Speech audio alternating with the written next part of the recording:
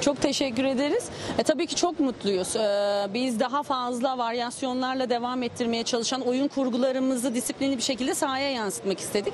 Onların da birçoğunu yaptık bugün. Sadece sonuçlandırma kısmında sıkıntı yaşadık. Ama hiç önemli değil. Önemli olan buradan 3 mutlak bir 3 puan almaktı. Aldık. Grupta da gayet iyi bir şekilde, yenilgisiz bir şekilde şimdi Sırbistan'a gideceğiz. E, o yüzden de çok mutluyum ve, her zaman her yerde dile getiriyorum. Oyuncularımla gerçekten gurur duyuyorum. Bu kızlar hem ülkelerini temsil ederken aynı zamanda da ülkedeki kadın futbolunun tanıtımı açısından çok önemli rol modeller.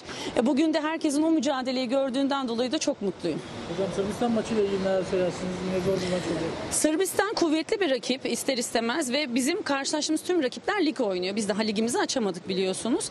Ama e, ona göre bir taktiğimiz var. E, savunma bloğumuzu biraz daha ağırlıklı tutup daha sonradan 3. bölgeye geçişleri sağlayacağız. Defanstan e, hücuma geçişleri uygulamaya çalışacağımız bir maç olacak. E, bugün onların da Portekiz'le maçı var. Onu şimdi takip edip hemen ertesi gün taktikleri hazırlayıp analizlerimizle devam edeceğiz. Hocam Süper Lig'in ve Türk futbolunun önemli takımları da kadın futbol şubelerini açtılar.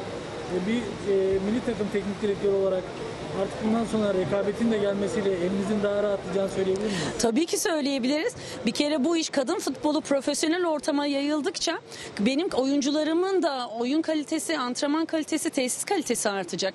O yüzden de herhalde en mutlu olan ve en karlı çıkacak olan kişinin ben olduğumu düşünüyorum.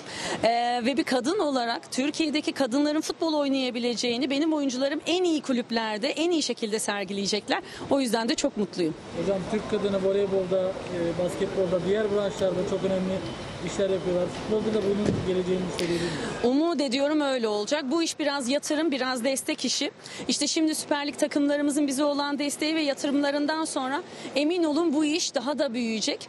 E, bu kızlar ülkelerini çok çok daha iyi temsil etmeye başlayacaklar. Teşekkür ederiz hocam. Ben teşekkür ederim. Çok sağ olun. ederim. Ayaklarınıza sağlık arkadaşlar. Sağ olun. Hocam. Ya Çok mutluyuz. Ee, Kendi ülkemizde ilk galibiyetimizi aldık. Bulgaristan'la e, oynadık. Yani ikinci maçımızdı. İki maçta 4 puan topladık. Ee, Şu an için sonuçtan mutluyuz. 1-0 olsun bizim olsun. Ee, Gerçekten dediğiniz gibi çok pozisyon bulduk. Ancak gole ulaşamadık.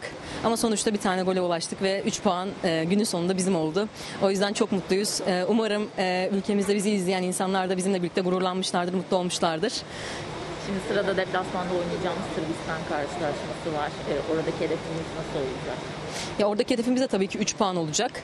Ee, yine bunun gibi çok zorlu bir mücadele bizi bekliyor orada. Deplasmandayız. Ancak e, orada da 3 puan alıp ülkemize geri dönüp e, 7 puana ulaşmış olmak istiyoruz grupta. Başarıdan geldik. O neler hissediyorsun? Amacımız tek hedefimiz 3 puandı. Ee, bu doğrultuda çok uzun bir süre hazırlandık. Hem teknik hem taktik anlamında.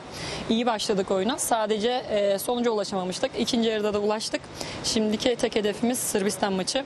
3 maçta 7 puan hedefimiz. Tamamen oraya odaklanacağız. Keyfimiz yerinde.